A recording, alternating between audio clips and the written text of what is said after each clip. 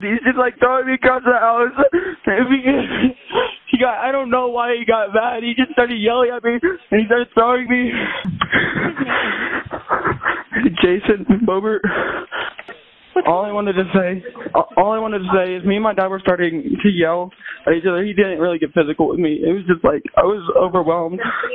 Wait, hang on. Me, me and my dad were over. Hang on. Hi. I'm the mom. Hi. Um, okay, so there was an argument over dinner. I understand you guys got to come and talk to them. I'm down at our second location with, I was already here getting things ready for an event.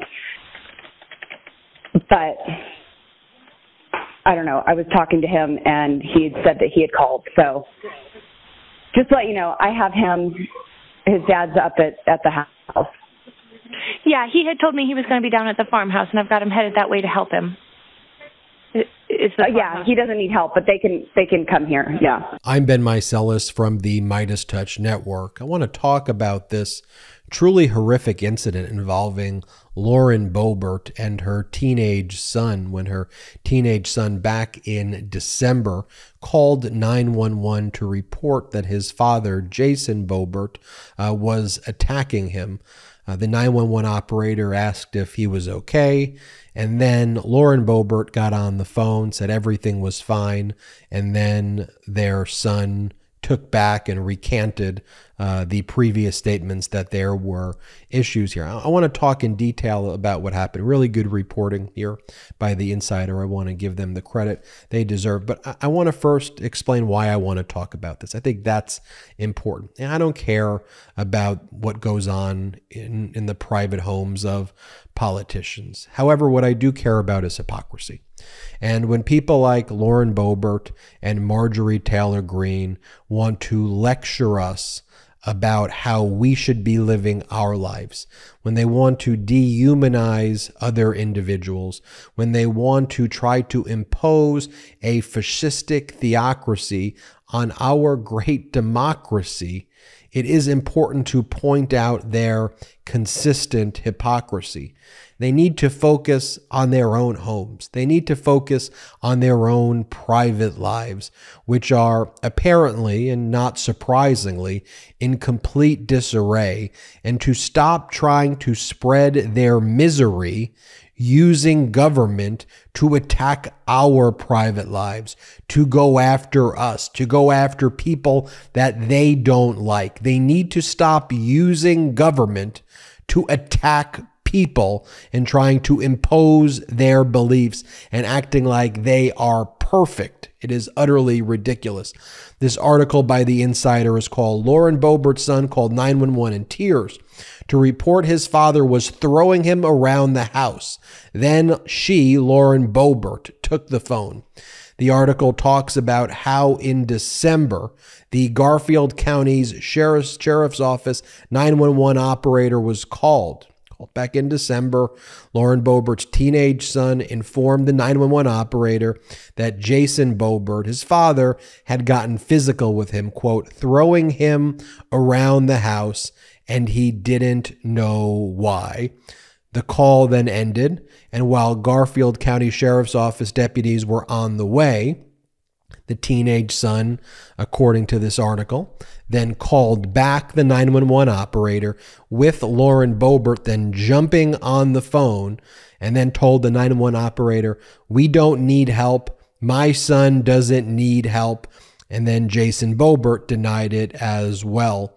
Um, Lauren Boebert responded to the insider and basically said, None of this happened. You're wrong. She said, The safety and well well being of my family are the most important things in the world. We've had some tough times and heartaches. I've taken action to ensure there are better days ahead of us all. I think referring to the fact that uh, she filed for uh, divorce. Um, an affidavit says that when Jayson was served divorce papers and the petition, he became extremely, extremely angry. Um, Lauren Boebert denies that that took place. go to December 11th when this uh, emergency call was made. It happened at around 6:46 p.m. Insider obtained the phone call and a log of the call. Uh, the teenage son, Boebert's teenage son, was sobbing and gasping for air and had trouble speaking while his dad was, quote, throwing him around.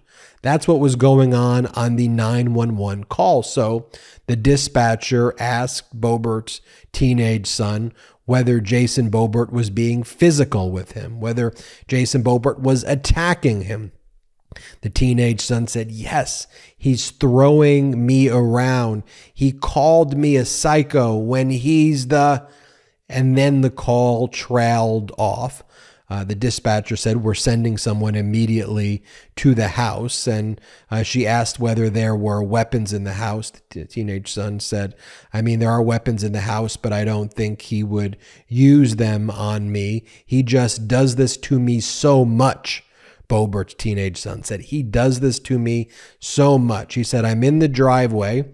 My mom's staying down at the farmhouse because there's problems with them. I'm going down there where he can't get to me. Then the call ends. Five minutes later, you can hear Lauren Boebert yelling.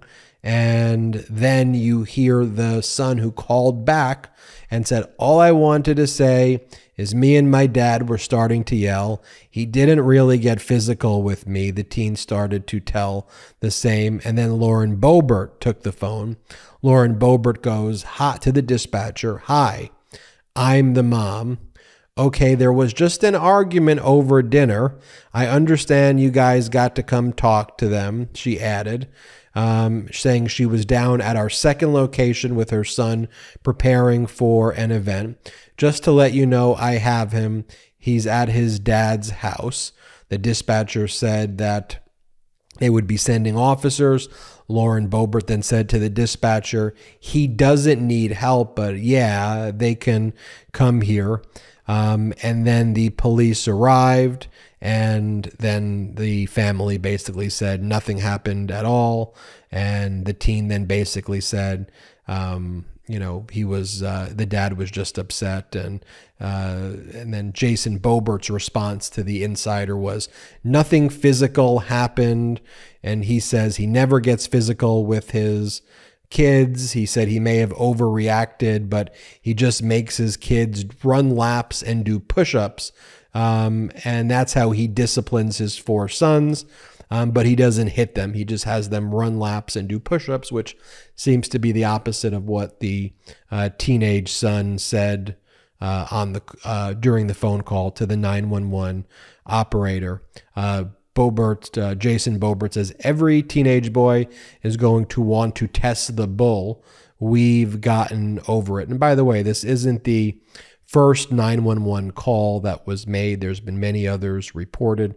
Lauren Boebert has a long arrest history. Jayson Boebert has a long arrest history. Of course, Jayson Boebert, uh, we've reported before, um, exposed, previously exposed his genitals, I believe, to minors at a bowling alley, which he was uh, arrested for. Um, and here's what Lauren Boebert basically posted uh, around the same time uh, that that happened. And she basically said, when you speak the name of Jesus, you aren't just saying a name, you are declaring what you know about the authority and splendor of his name.